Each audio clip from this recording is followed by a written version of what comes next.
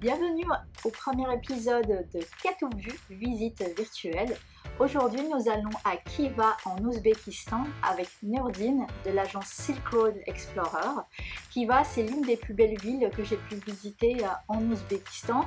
Euh, j'ai adoré euh, son architecture, son histoire, sa gastronomie. j'ai fait plus de rencontres avec les locaux à Kiva. Et euh, Nourdine va nous faire découvrir chaque coin et va nous raconter plein d'histoires. Donc, euh, direction qui va en Ouzbékistan depuis chez soi. Je ne sais pas vous, mais moi je suis déjà prête. Alors, générique et direction qui va.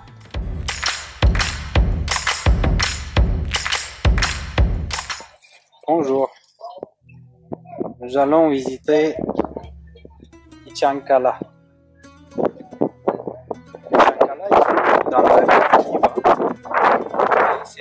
C'est une ancienne ville fortifiée. Ça veut dire la ville intérieure, la ville fortifiée intérieure. Ichankala, il est gardé comme une comme une musée à ciel ouvert, c'est-à-dire toute citadelle historique est gardée. Euh, Ichankala, il est euh, inscrit dans la liste des patrimoines mondiaux de l'UNESCO. Euh, on est devant la porte principale de Ichankala, Ata Darwaza, la, porte principale. porte, une des quatre portes d'Ichankala, a été détruite dans les années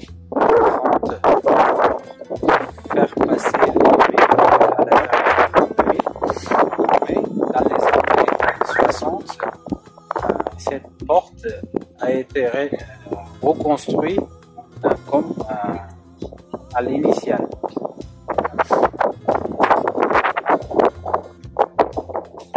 Alors, les murailles de fortification de Ichankala, la longueur entière de, des murs, c'est euh, environ 2000 mètres. La longueur, c'est entre 8-10 mètres à la hauteur. Et l'épaisseur, c'est 5-6 mètres. Il est euh, construit avec des briques de concrete, mais la partie basse de euh, mur de fortification.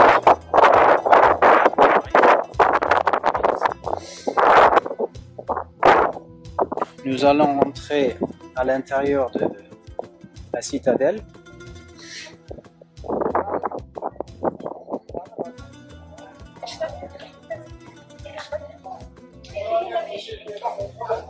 Ici, à l'entrée, on peut voir quatre, euh, quatre pièces. Aujourd'hui, euh, les trois des quatre pièces sont les euh, sont les magasins. Euh, auparavant, ces pièces-là euh, servaient pour accueillir les marchands et pour collecter les taxes.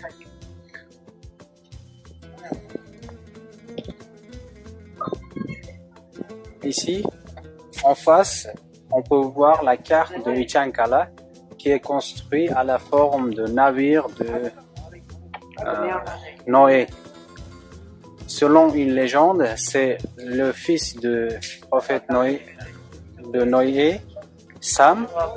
Euh, il a passé par le territoire de Corrèze actuelle et une nuit, il a rêvé à 300 torches et le lendemain, il a euh, tracé les les places des torches et à la place il a construit les premières fortifications. Et c'est pour ça la forme de euh, Ichankala se ressemble à une navire. C'est une légende concernant la ville qui va. Et ici, il y a les marchands. Euh, à droite, on peut voir les petites cellules qui se sont transformés en boutiques. à l'époque aussi, c'était les magasins, les boutiques. ici, devant nous, il y a les chapeaux traditionnels de Corrèze. Ce sont les chapeaux traditionnels faits à l'aide de peau de mouton. Ces, ces chapeaux est très pratique pour euh, Corrèze, il y a du vent et du sable. Euh, premièrement, ce chapeau fait chaud à la tête et deuxièmement, il peut protéger les yeux euh, contre le, euh, le vent et le sable.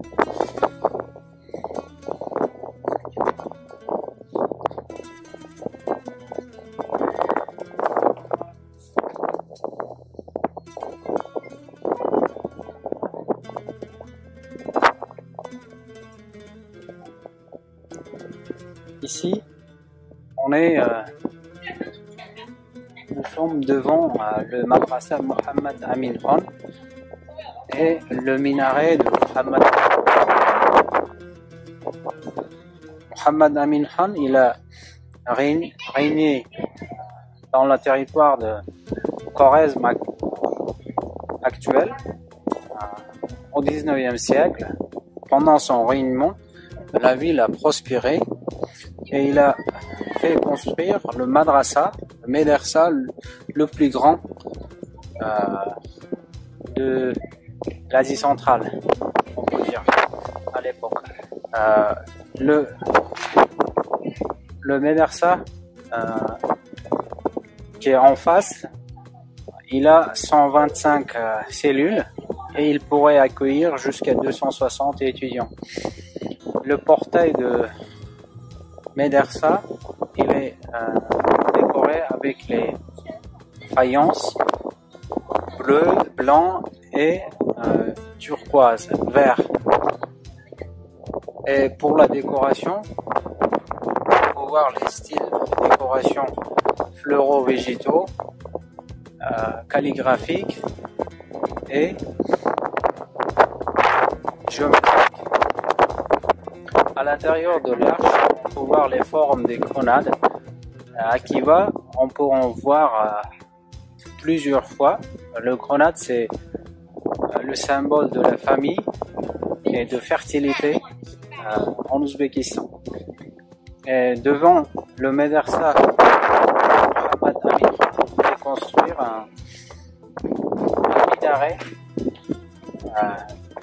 selon le projet, ce minaret devait atteindre 80 mètres hauteur et il devait être le plus haut minaret de l'Asie centrale. Mais en 1855, euh, Mohammed Amin Khan, il a été assassiné pendant euh, la guerre euh, dans le territoire de Khorasan. Et après sa mort, la construction de ce minaret est arrêtée Aujourd'hui, le minaret, il est nommé comme Kalta Minor, ça veut dire minaret court. Euh, on peut dire minaret acheté Euh, alors, euh, la fondation de ce minaret, il il s'enfonce à 15 mètres de profondeur et le diamètre de minaret, c'est à peu près 15 mètres et il, euh, se réduit vers l'intérieur. Et ce qui est intéressant, euh, toutes les surfaces de minaret couvertes avec des faïences bleues, turquoise, blanc, vert. Et à la hauteur, on peut voir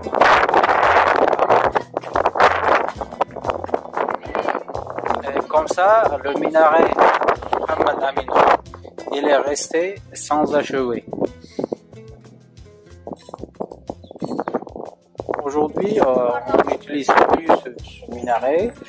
Pendant les fêtes. Il y a les musiciens qui montent sur le minaret pour jouer les instruments musicaux. On va jeter un coup d'œil à l'intérieur de Madrasa. Ici, à l'entrée de Madrasa, euh, on peut voir les portes originelles avec les euh, motifs de grenade. À ce côté aussi, on peut voir les motifs grenades. Et euh, il y a les décorations avec les fers là-bas. Mais euh, en réalité, ce sont les clous qui tiennent trois morceaux de bois. Et ici, on peut voir les traces carrées. Euh, pendant l'occupation des Russes de la territoire de Khorezm, le médecin Mohamed Amin Khan, il est utilisé comme un prison. Et ici, c'était une petite ouverture d'où les soldats euh, regardaient l'extérieur. Aujourd'hui, ce madrasa, il s'est transformé à une euh, à un hôtel, hôtel 3 étoiles.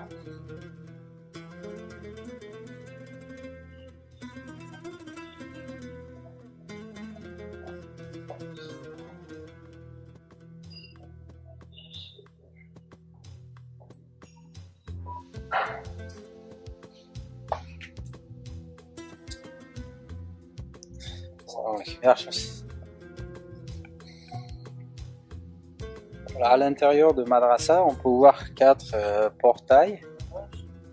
Et euh, le Madrasa, il a deux étages. Euh, ce qui est intéressant dans ce Madrasa, les cellules de rez-de-chaussée, ils ont deux pièces. Les cellules de premier étage, ils ont les balcons vers l'extérieur.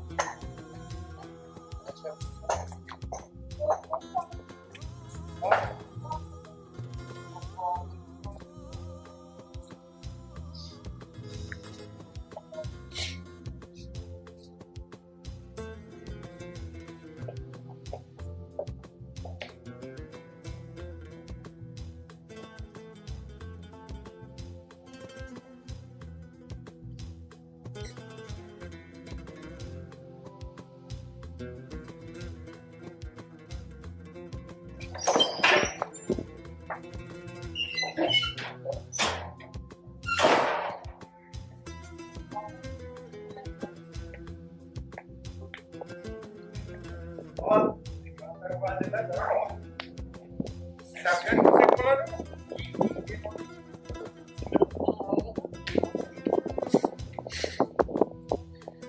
Kiva, il y a plus de médersa que la mosquée. On peut dire deux, trois fois plus. Parce que à Kiva, euh, euh, les gens qui avaient la possibilité ont construit les madrasa. C'est pour ça, le madrasa c'est l'université de l'époque. Et c'est pour ça le Kiva, la ville Kiva a eu le surnom, le, nom euh, la lumière. Par exemple, en face aussi, ça aussi c'est madrasa.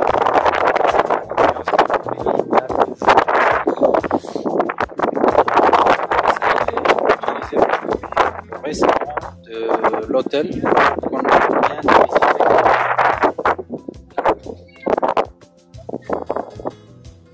Il s'est transformé en un restaurant.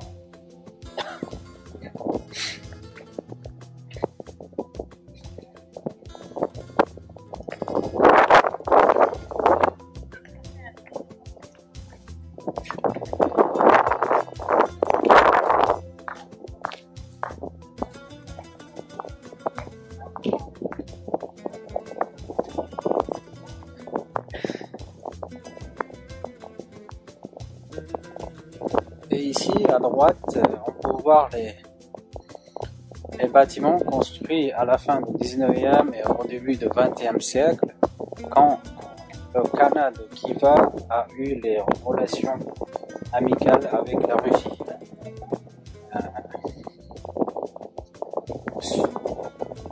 Sur l'architecture de, de, ces bâtiments, on peut sentir l'architecture de Saint-Pétersbourg.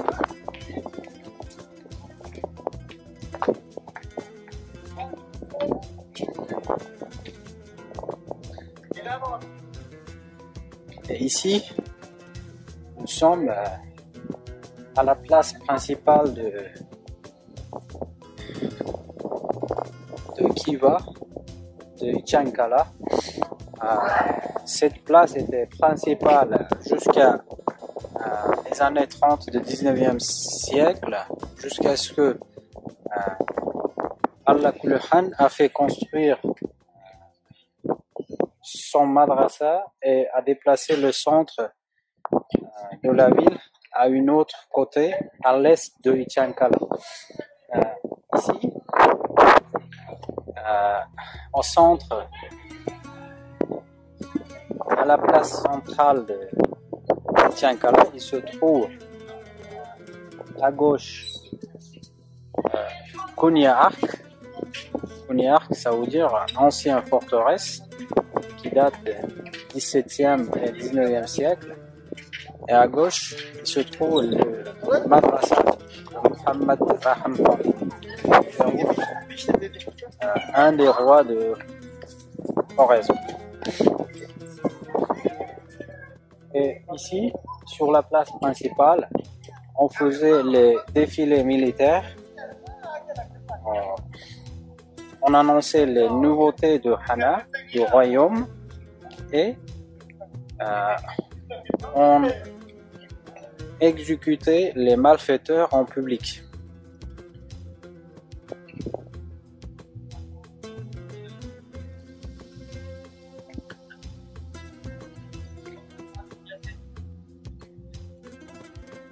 Nous allons visiter Konya Ark, le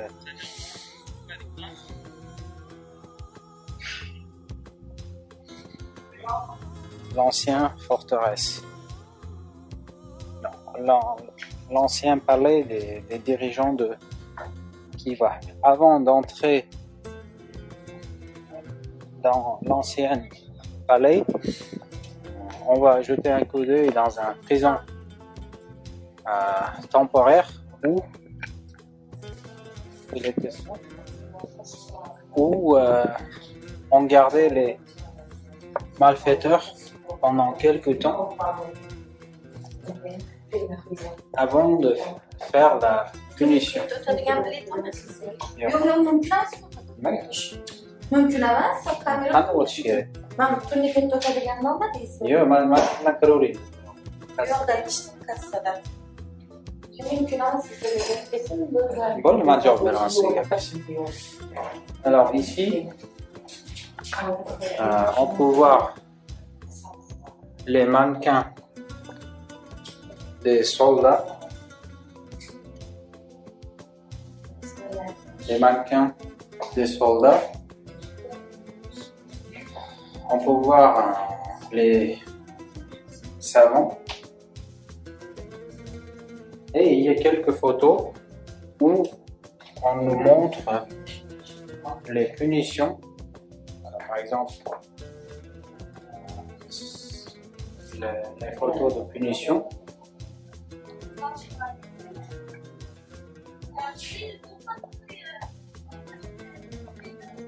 Et on peut voir les photos des soldats de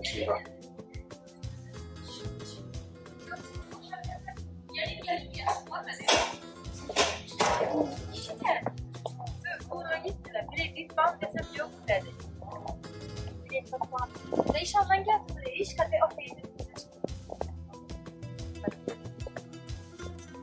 On peut voir l'ancien porte de Konya Ark, l'ancien porte. قيد لها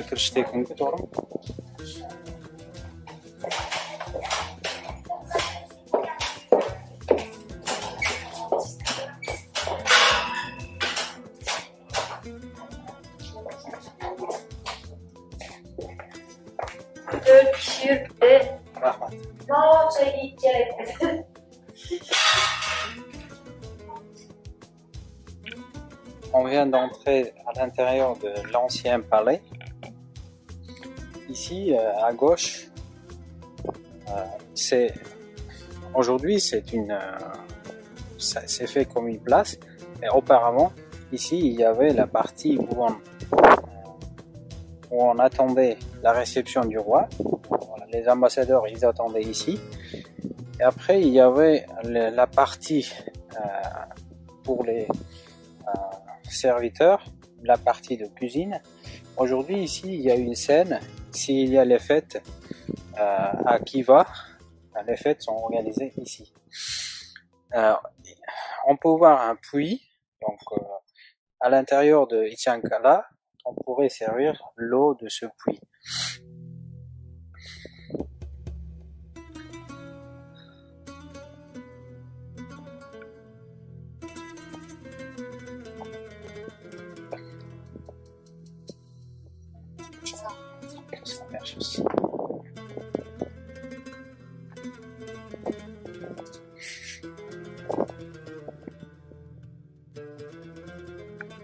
Ici, on est dans la cour de réception. Dans la cour de réception, le roi de Corrèze, il accueillait les ambassadeurs des différents pays. Euh, en face, euh, nous avons le auvent avec deux colonnes et l'intérieur de auvent, il est entièrement couvert avec les faïences. Et il y a trois portes. Alors, euh, les trois portes avec euh, différentes formes. La porte un peu plus petite, euh, euh, au milieu la porte un peu plus grande et la porte plus grande et mieux décorée. C'est-à-dire, la première porte qui est mieux décorée, c'était pour l'entrée du roi. Au milieu, c'était pour l'entrée des ambassadeurs. Et au troisième, c'était pour l'entrée de la population. Et le, ici, au milieu de cour, on peut voir une forme ronde. C'est la fondation de, de la yourte. Euh, Le roi de Corrèze, quand il y avait les ambassadeurs de- des nomades, il faisait monter une yourte ici pour leur montrer euh, son respect. Et il les accueillait à l'intérieur de la yourte. Alors, les, les poteaux, euh, ils sont décorés avec les gravures sur le bois. Et ici, la fondation, il est fait avec le marbre. Entre le marbre et euh, poteau, on peut voir une euh, fer, un métal, et sous le métal, il y a le feu- feutre. C'est euh, c'est un système antisismique. Et si on jette un coup d'œil au carreau de faïence, là, euh, on peut voir que c'est à la forme de carré. Et ici, c'est numéroté. C'est numéroté avec les an- anciens chiffres, c'est-à-dire ce sont les carreaux originels.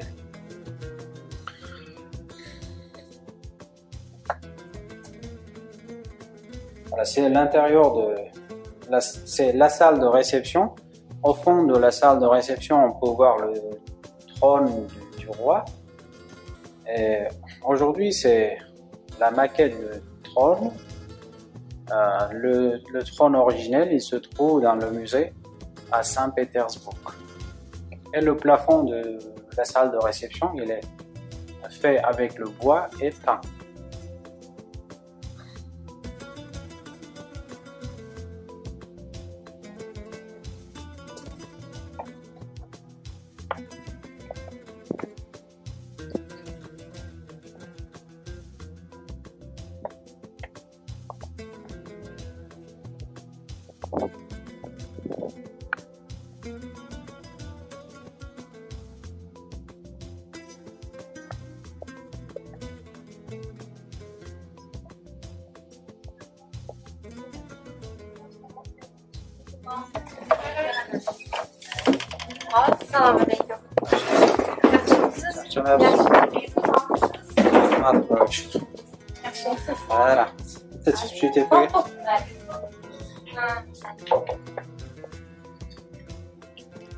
Ici, on va monter sur la tour.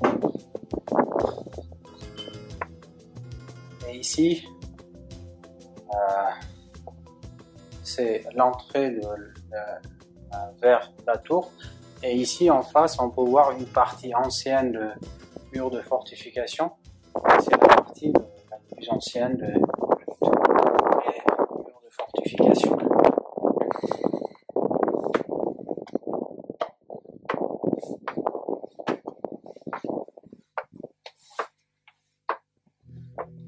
Voilà, les, les marches sont assez grands.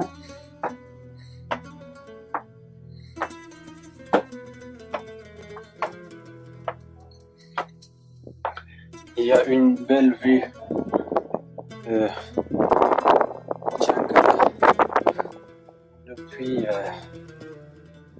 le, tour.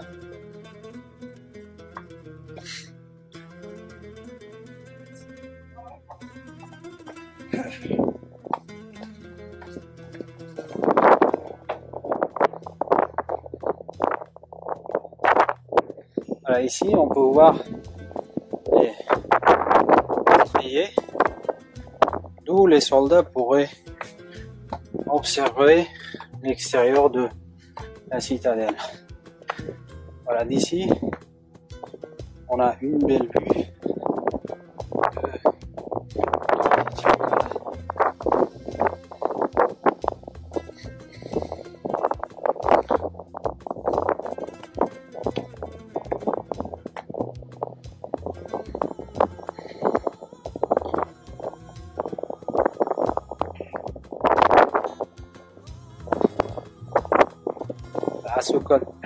On peut voir les murs de fortification.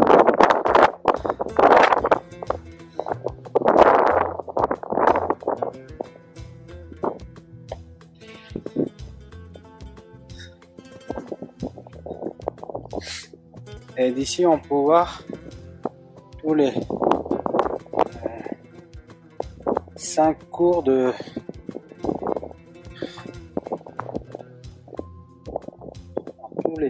cours de euh, Arc. Et d'ici, on peut voir les monuments, euh, les grands monuments de euh, Itiankatla. Et par là, on peut voir les maisons d'habitation.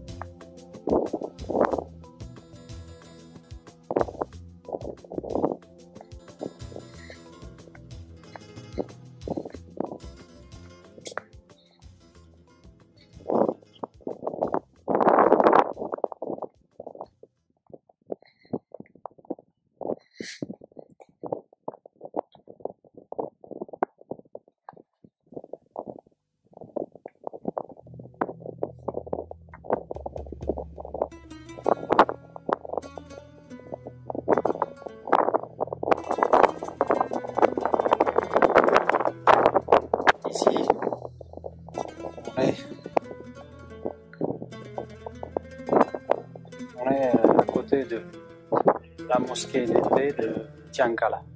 La mosquée d'été, il est entièrement couvert avec les faïences et le plafond est tenu par six colonnes. Et en face, il y a le mihrab, mihrab, la niche dans le mur qui indique la direction de la Mecque. Et le plafond, il est fait avec le bois et peint.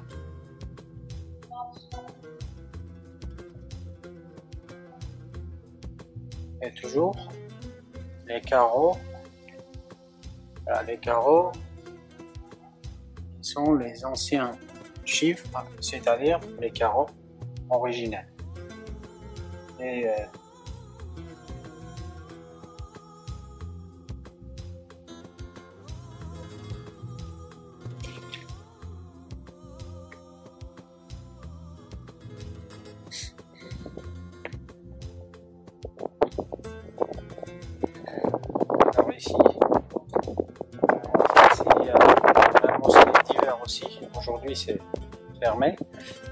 pas visiter. Ça rentre.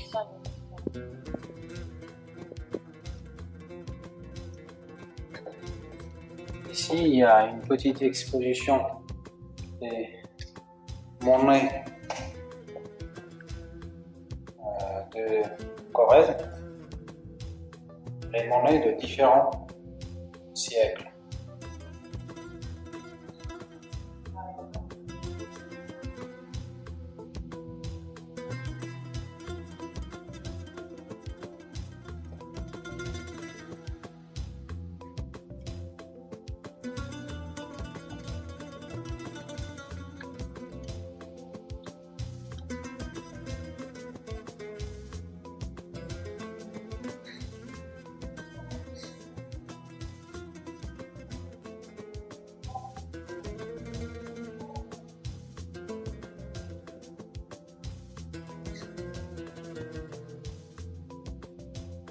Ce sont les, billets d'argent de l'époque soviétique.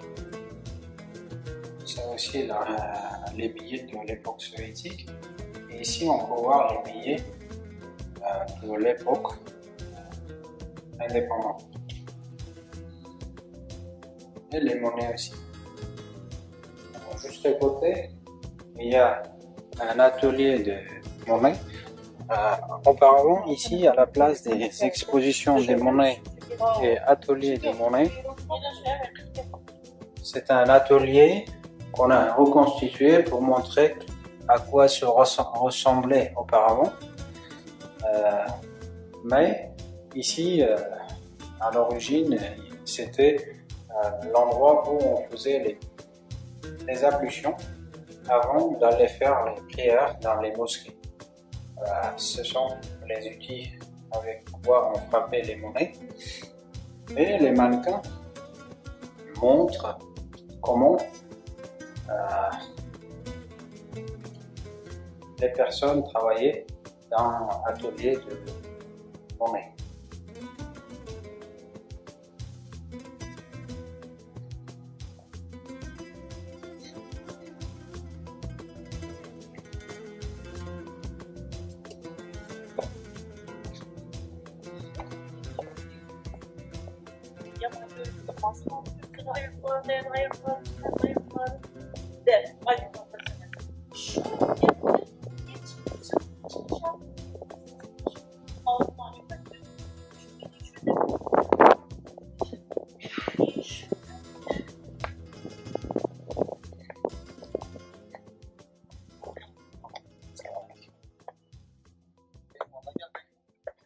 بيقول لي يورين كلاسي الخضر Et ici, on va sortir de l'ancien palais, l'ancien citadelle des, des rois de Corrèze. Euh, nous avons visité euh, la porte principale de, de citadelle. médersa de Mohamed Amin Khan, le minaret de Mohamed Amin Khan, et citadelle de Arc. Merci pour votre attention.